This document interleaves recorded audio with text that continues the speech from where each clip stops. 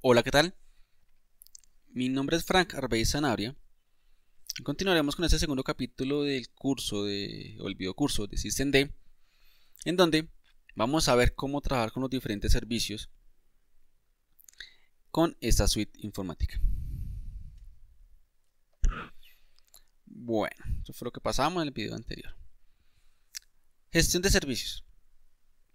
Aunque es similar en algunos aspectos con el service, el nombre del servicio y, el, comando o la acción a realizar, acá cambia un poquitico la estructura. Vemos que primero se escribe el comando systemctl, después la acción a realizar y sobre qué unidad se va a colocar. Normalmente, por defecto, se coloca name.service o el nombre del servicio que se va a reiniciar. Lo que en realidad se hace, el mismo systemd detecta si es un servicio, si es una unidad, etcétera, ¿no? Entonces nosotros podemos, o un target, como tal, un objetivo.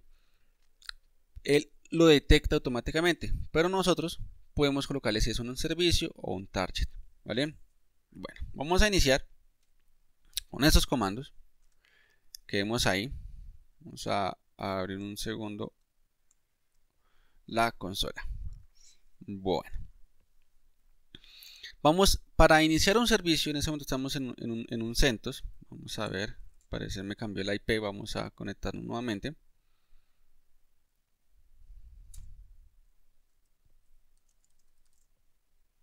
Correcto, me cambió la IP.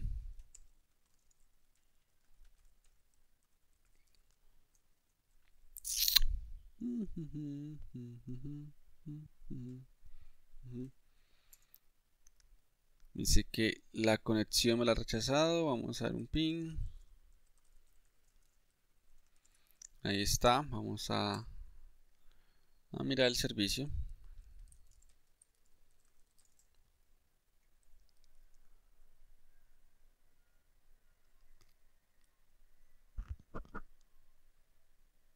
Ok, está parado. Vamos a darle un service, un system CTL ch.service listo. Ahora sí volvamos acá.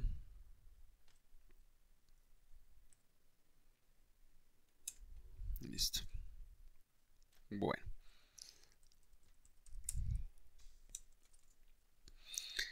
Listo entonces nosotros para iniciar un servicio solamente escribimos el comando systemctl start y el nombre del servicio. Digamos que en ese momento sería ssh Ahí hemos iniciado nuestro servicio. Pues como ya está iniciado, pues obviamente no pasa absolutamente nada. Nosotros podemos ver el estado de un servicio con el comando status, con la opción status. Vemos que me dice desde qué hora está iniciado. ¿Ven? Los documentos correspondientes a ese servicio, en qué página del manual está, o sea, en qué modo, el manual está, ya sea modo 8 o el modo 5, en, los manuales 5 el proceso principal como tal, los IDs y el grupo que lo está ejecutando. Acá lo tenemos. Y ciertos logs informativos sobre ese servicio. por ejemplo, que a tal hora empezó a iniciarse la, la escucha del servicio, ¿cierto? Tanto IPv4 como IPv6 y la conexión que acabo de realizar por el puerto 4776. Ese es el estado. Si nosotros quisiéramos parar el servicio, lo mismo systemctl stop y ahí mi servicio eh, pierde ese estado, o sea, se para. Pero como yo en ese momento tengo una conexión activa con el servicio, pues obviamente no lo para de forma abrupta. Por eso yo puedo seguir trabajando desde mi consola. Si yo cierro la consola, vamos a cerrarla. Hacer nuevamente la conexión. Vemos que ya no me puedo conectar porque el servicio después de pasar a, activo con una conexión abierta o un socket abierto pues obviamente después de que está parado pues obviamente ya no me puedo conectar nuevamente. Entonces lo que tengo que hacer en ese momento es nuevamente iniciar mi servicio para poder conectarme. Vamos a, a verlo. Efectivamente ya lo tenemos y hemos iniciado nuevamente. Podemos reiniciar un servicio con el comando de esto restart, con la acción restart, ahí hemos reiniciado nuestro servicio. Entonces si le damos esto un systemctl status, vemos que hace 7 segundos fue reiniciado. ¿Ven? Y ya no tenemos los logs del histórico del servicio. Si tuviéramos el servicio iniciado desde hace mucho rato, pues tendríamos mucho más logs. ¿no? Mm, podemos recargar un servicio con la opción reload en vez de restart. Entonces, ¿para qué utiliza la opción reload? Para cuando solamente hacemos modificaciones al cambio al, archivo, al archivo del servicio como tal, como es el sshd conf, config. Entonces solamente recargamos el servicio sin necesidad de reiniciarlo para no matar las conexiones que tenemos actualmente, ¿vale? Eh, también tenemos el status. Vamos a un momentico a mirar este. Vemos que el reloj me cambió completamente el servicio nuevamente, ¿sí ven? Pero en ese momento está abajo. Vamos a mirar nuevamente. Se encuentra inactivo en ese momento desde hace 16 segundos se encuentra en mi servicio. Vamos a ver de pronto la configuración del reloj no me cargó bien. Vamos a dar un start. Ahora sí está activo nuevamente. se encontraba inactivo y ahora se encuentra activo. Ustedes dirán, pero ¿por qué no me desconectó? Por lo mismo, porque tenemos todavía el socket abierto hacia nuestro servidor. ¿Vale? Entonces si vamos a ver nuevamente el status, pues ya no tenemos ningún tipo de log o información correspondiente. Porque lo hemos iniciado y pues vamos, hemos borrado los logs del servicio activo. Aún tenemos acceso a los logs, ¿no? Bueno, eh, tenemos otro comando que me indica si se encuentra el servicio actualmente ejecutando, pues por favor reinícielo. Normalmente hace una especie de validación, si la salida es 0 pues no hace nada, si la salida es 1 que se corresponde al, inicio arrancado pues lo reinicia. El comando es systemctl con restart sh.service. Entonces el que hace valida si está ejecutado y si está ejecutado lo reinicia. Vemos que tenemos hace 2 segundos hemos activado nuestro servicio.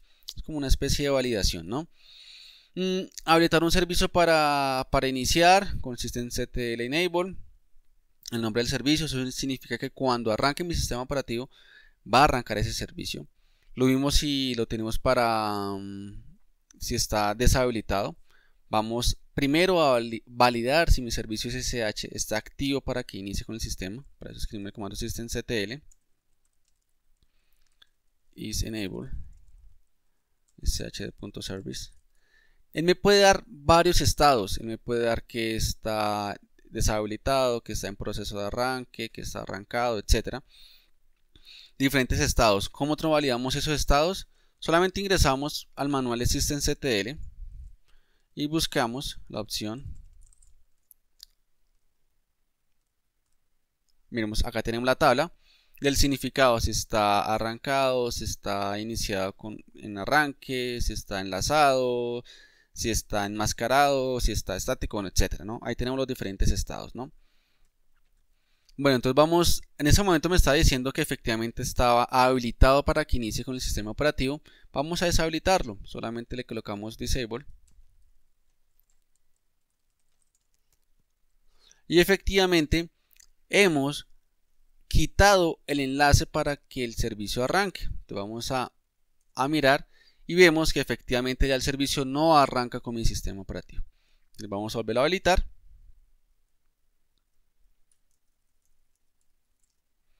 Y efectivamente acá hemos establecido que mi servicio SSH inicie con el sistema operativo. Pues obviamente es, es un requisito pues para yo poder ingresar a administrar de forma remota mi servidor, ¿no? Bueno. Vamos a mirar los siguientes. Restablecer las unidades, informar, información de la unidad, dependencias de la unidad y manual de la unidad. Acá tenemos información correspondiente a ciertas unidades. Por ejemplo, nosotros hemos cambiado, eh, digamos, eso es lo que hicimos ahorita. Vamos a deshabilitarlo nuevamente. Digamos que hemos cambiado mucho y queremos restablecer todas las unidades o todos los objetivos, servicios, targets de nuestro sistema. Entonces solamente escribimos el comando system ctl y decimos que por favor se restablezca las configuraciones de mis unidades, ¿no? Entonces vamos nuevamente, vemos que acá vemos unas unidades por defecto que es el SSH, vamos a mirar, nosotros lo hemos desactivado, acá lo desactivamos, si ven? Y acá lo validamos que efectivamente está desactivado, vamos a validar ahorita cómo está, vemos que nuevamente pasa a ser habilitado, por lo mismo, porque por defecto el SSHD está habilitado, ¿no? Mm, información de la unidad, vamos a ver información sobre el servicio esto mm, SSHD.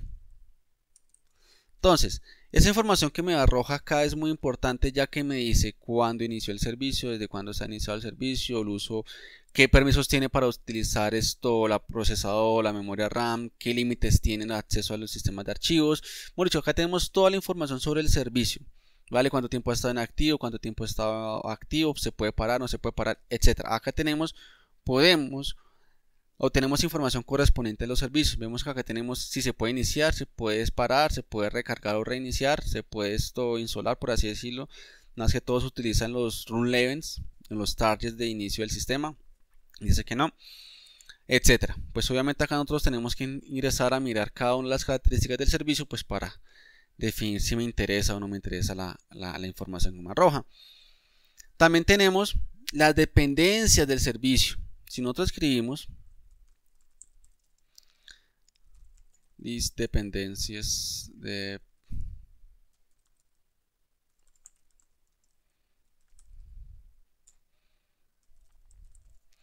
Acá encontramos todas las dependencias de nuestro servicio. Vemos que acá tenemos dependencias correspondientes a los journals CTL, que es más que todo es por temas de, journals o temas de registros.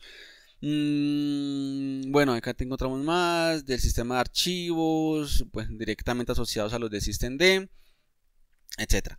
Pero eso es de forma global. Yo quisiera saber cuáles son los servicios necesarios antes de arrancar el servicio de SSHD. Entonces, digamos before. Entonces, bueno, esos son después, qué pena. Eh, de los servicios que se arrancan después de los de, de qué? De, de, de mi servicio SSHD. Lo mismo para los que son antes o necesarios para o dependencias o dependencias antes de iniciar el SSHD y acá efectivamente lo encontramos que se desarrancaba el sistema, que debe tener ya el stall socket creado, que ya el journal CTL ya debe estar creado, que el servicio, los que de SSH ya deben de estar creados, etcétera, o deben de estar montados. ¿Ven?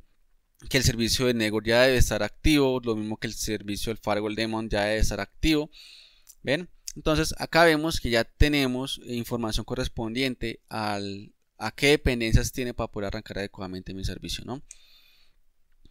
Bueno, y ya por último, aunque acá me falta también otro comando que no lo he colocado, tenemos un comando que existe en CTL Health y el nombre del servicio, que en realidad es el manual o la unidad. En realidad es el manual del servicio. Ven, es como yo ingresar solamente, eh, salgámonos, un man SSHD es similar a lo que tenemos acá, ¿no? Entonces, también si estén de poco a poco, pues se va a meter con ese aspecto. ¿no? También tenemos otros procesos. Por ejemplo, tenemos un, sistema para matar un, un, ¿qué? Un servicio o una unidad. Ahí le estamos definiendo el systemctl, por favor máteme el servicio SSHD. Pues obviamente como les mencionaba, hasta el momento está ejecutado, pues porque obviamente eh, tengo la socket abierto. Acá debe estar todo arrancado. No, mira que efectivamente ya está inactivo. Si ven? Hace 18 segundos fue apagado o fue matado el servicio SSHD. Por defecto manda un sync term, que es la opción 15, que, me que dice que por favor esto acabe el servicio de forma adecuada, ¿no? No, no manda a matarlo de forma abrupta porque pues va a quedar como modo zombie, es muy probable que quede modo zombie un servicio, pues los invito a que vean nuestro video de, de, gestión de, de servicios en el curso de Debian medio, ahí van a encontrar todo tipo de señales que se le pueden enviar. Ven, entonces yo salgo en ese momento de mi, de mi máquina virtual, intento conectarme, efectivamente no tengo conexión, tengo que volver a arrancar mi servicio. Ahí ya lo he arrancado y ahora sí realizo la conexión. Y nuevamente tengo acceso a mi servicio, ¿no? Entonces son unas maneras que nosotros hemos trabajado con los servicios. Eh, vemos que el último que vimos del kill es muy similar le mandaron kill o, a, esto, a, los, a los diferentes esto, mm, procesos de nuestro, de, nuestro, de nuestro servidor o de nuestra consola. ¿no? Bueno, no es más, me despido, recuerden que mi nombre es Fran Sanabria, también recuerden que la manera que nos colaboren es compartiendo el video, dándole me gusta, agradeciendo en los comentarios, recuerden cualquier pregunta, duda, inquietud que tengan, pueden hacerlo en la caja de comentarios de, de YouTube. No es más, nos vemos en una próxima ocasión. Hasta pronto.